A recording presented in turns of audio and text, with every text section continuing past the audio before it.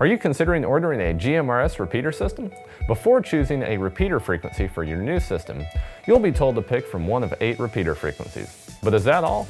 Hi, I'm Cody, W3AMG with BridgeCom Systems. Today I'm going to share with you how to effectively choose the proper frequency pair so you can get your GMRS system on the air. Now before we pick a frequency, first we need to look at FCC's Part 95, Section 95.359, sharing of channels.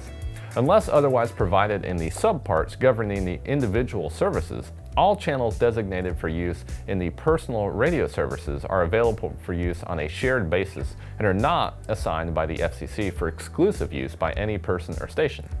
Operators of personal radio service stations must cooperate in the selection and use of channels in order to avoid interference and make efficient use of the shared channels. Currently, there's no formal coordination process. Just monitor a frequency for a while to ensure it's quiet, then go ahead and use it.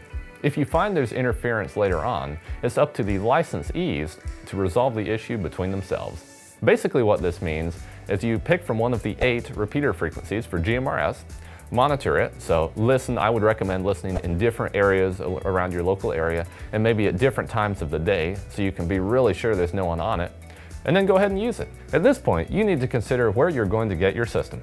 Here at BridgeCom Systems, we will provide you with an affordable GMRS repeater system tailored to your needs. Securing one of these outstanding repeaters for yourself is easy. Simply click the link in the description and schedule a call with our team. Thanks again for watching. I'm Cody, W3AMG with BridgeCom Systems. 7-3.